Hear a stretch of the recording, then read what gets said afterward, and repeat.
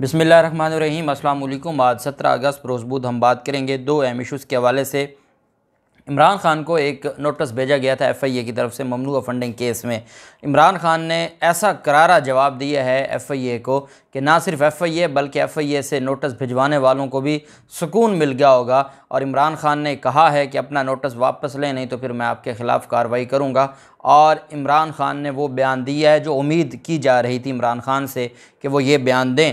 चूँकि इमरान खान को पता है कि इस तरह के नोटिस पहले जो तीन बड़ी हाई कोर्ट्स हैं वो उठा के फेंक चुकी हैं। इस वजह से इमरान खान बड़े क्लियर हैं कि इन नोटिस की कोई कानूनी हैसियत नहीं है और इमरान खान ने अपने वकील के ज़रिए जवाब दिया। उसकी तफसील मैं आपके साथ शेयर करूँगा। सिंध हाई कोर्ट में हुकूमत के ख़िलाफ़ बेसिकली जो एन ओ सी सिक्योरिटी जो एन ओ सी मनसूख किया गया था ए आर वाई न्यूज़ का उसके ख़िलाफ़ एक इंटर कोर्ट अपील फ़ाइल की थी।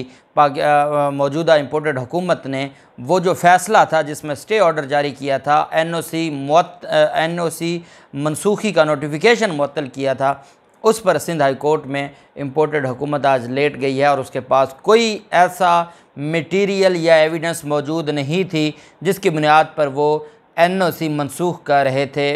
ए आर वाई न्यूज़ की और आज उनको मुँह की खानी पड़ी और बिल आखिर अदालत से टाइम मांग लिया और अदालत ने स्टे ऑर्डर में हुक्म इम्तनाई में तोसी देते हुए लंबी तारीख दे दी और उस समात का हवाल भी मैं आपके साथ शेयर करूँगा।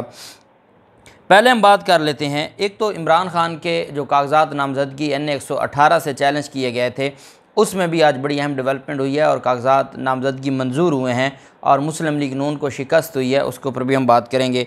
अच्छा पहले हम देख लेते हैं फैसलाबाद में जो एक आ, एक खौफनाक और एक जितनी उसकी मजम्मत की जाए वो कम है कि वहाँ के एक इंडस्ट्रियलिस्ट हैं और उनकी बीवी और उनके फैमिली ने और उस खुद जो मालिक है इंडस्ट्री का उसने मिलकर मेडिकल की एक स्टूडेंट है और मुबैना तौर पर यह कहा जा रहा है एफ़आईआर में भी ये बातें सामने आई हैं कि शादी के लिए वो रजामंद नहीं थी लड़की और फिर उसको अगवा किया गया और उस मज़लूम लड़की को इन्होंने तशद का निशाना बनाया और आप आप वो वीडियोस देख चुके हैं जिसमें जूतों तक चटवाने का अमल करवाया जा रहा है। इन दरिंदों की तरफ़ से दरिंदगी की जा रही है, हैवानगी की जा रही है। इन बदबख्त जो ये इलीट है, जो माफिया है उस पर फिर और ये मैंने कहा था कि परवेज़ इलाही के लिए और पंजाब हुकूमत के लिए ये एक टेस्ट केस है। और दो घंटों में सारे मुलजमान गिरफ़्तार हो गए थे और वो ख़ातून भी गिरफ़्तार हो गई थी जिसकी पीछे आवाज़ें आ रही थीं। और जिसका नाम जो नाम है वो महम बताया जा रहा है मुलजमा महम उसको भी गिरफ़्तार किया गया था।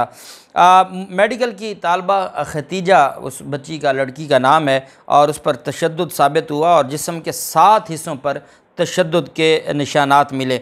आ, मेडिकल के मुताबिक फैसलाबाद में मेडिकल की तलबा पर तशद और वीडियो वायरल होने के बाद ये एक तोहन की गई है और ये उस लड़की के साथ एक ज़िलत अमेज़ रवैया रखा गया है और उस की रिपोर्ट की अदालत में पेश की गई। मेडिकल रिपोर्ट में यह कहा गया कि चेहरे और आँखों पर सूजश और ज़ख़म है जबकि बाजू और हाथों पर नाखून के निशानात हैं। और ज़बरदस्ती सर के बाल और भवें काटी गई हैं। दूसरी जानब वो जो तशद करने वाली खातून है उसको भी गिरफ़्तार किया गया।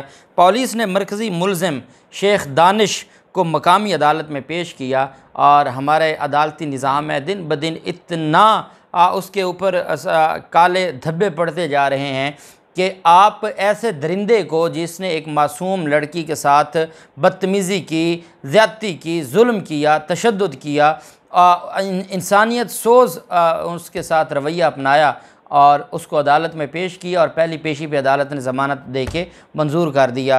क्या ये बगावत और इन चीज़ों से भी कमज़ोर केस था? क्या यहाँ पे अदालत जिस्मानी रिमांड नहीं दे सकती थी? क्या यहाँ पे आ, इनके ख़िलाफ़ कार्रवाई नहीं हो सकती थी? खुदा का खौफ करें आइन और कानून को अपने मुताबिक अपनी ये कलम कितने देना है?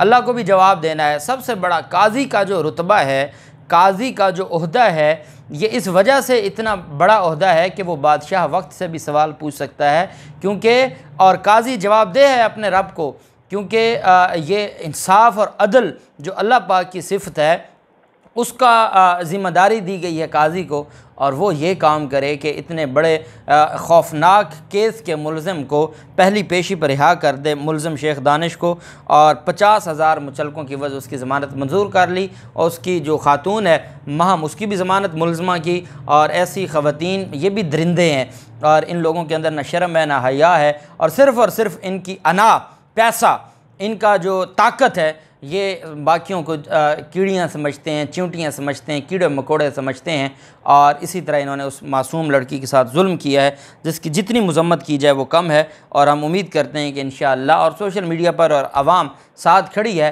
और जैसे आ, हमने देखा था नूर मुकदम कत्ल केस में या बाकी केसेस में जो ज़िम्मेदारान थे वो बड़े ताकतवर थे लेकिन जब आवाम साथ खड़ी हो जाए तो आ, आ, उनको सज़ा मिलती है और हम उम्मीद करते हैं कि इस पर एक जे भी बनाई जाएगी और इन लोगों को कैफर किरदार तक पहुँचाया जाएगा।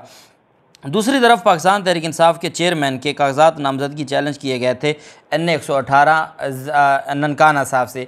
ये आज चौथा ज़मनी इंतखब में हल्का है जिसमें कागजात नामजदगी मंजूर हुए हैं और जो ऑब्जेक्शंस थे एतराज़ा थे, उनको मुस्तरद कर दिया गया है। और रिटर्निंग अफसर, मैंने आपको कहा था रूल ऑफ़ कंसिस्टेंसी अब चलेगा।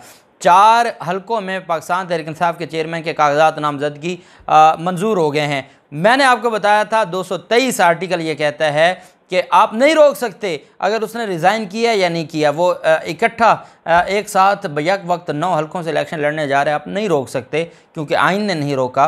और यही वजह है कि अब इनको बड़ी तकलीफ़ है, और ये उस तकलीफ़ की वजह से अब ये मज़ीद दरख्वास्तें देंगे, लेकिन एन ए एक सौ अठारह, ननका, ननकाना साहब से पाकिस्तान तहरीक इंसाफ के चेयरमैन के जो कागजात नामजदगी थे, वो मुस्तरद हुए और उस पर जो एतराज़ात थे कागजात नामजदगी मंजूर हुए और एतराज़ात मुस्तरद हुए और ये मुस्लिम लीग नून की डॉक्टर शिजरा मनसब ने इमरान खान के कागजात के ख़िलाफ़ एतराज़ा जमा करवाए थे, जिनको अदालत ने मुस्तरद कर दिया और अब तक चार जो हैं वो हल्के उसमें कागजात नामजदगी मंजूर हो चुके हैं और जो एतराज़ात हैं वो मुस्तरद हो गए और बाकियों में भी इन हो जाएँगे और इमरान खान नौ के नौ हलकों से इलेक्शन लड़ने जा रहे हैं और ये पाकिस्तान की तारीख में पहली बार ऐसा हो रहा है और ये उसका इनको परेशानी लाक है। जबकि सिंध हाई कोर्ट में अहम समात हुई और एयर वाई न्यूज़ का जो फैसला था, एयर वाई न्यूज़ की एन ओ सी मनसूख की जो सिक्योरिटी क्लियरेंस जो एन ओ सी थी, उसको मनसूख किया और चैनल बंद कर दिया।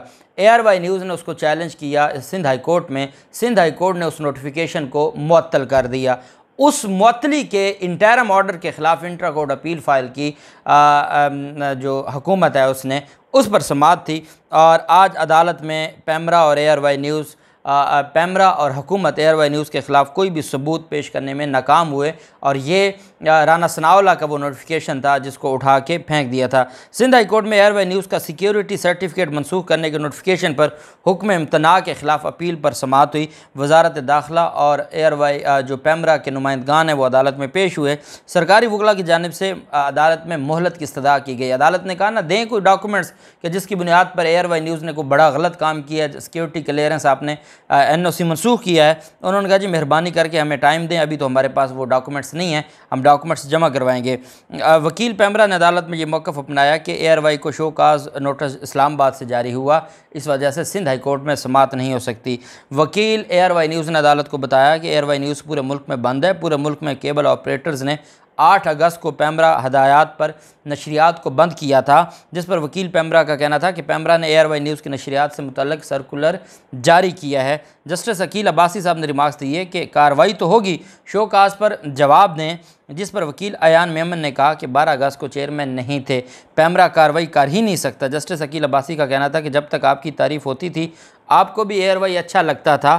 किसी प्रोग्राम या फ़र्द पर पाबंदी लगा सकते थे। पूरा चैनल क्यों आपने बंद कर दिया?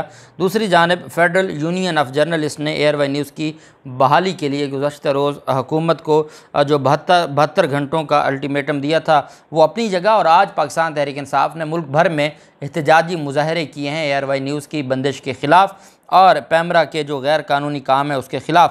और अब अदालत ने जो Pakistan sorry A R Y news की जो हुक्म इम्तना मिला था एन ओ सी का जो मनसूख करने का नोटिफिकेशन, उसको मअतल करने के हवाले से जो हुक्म इम्तना मिला था, अदालत ने उसको आठ सितंबर तक तोसी कर दी है और अदालत ने कहा, ठीक है, आठ सितंबर तक जो आपने मनसूख किया था नोटिफिकेशन उसको मअतर रखा जाएगा। आपके पास हैं कोई सबूत कि सिक्योरिटी क्लियरेंस और ये सारी बातें तो आएँ, अदालत को दें।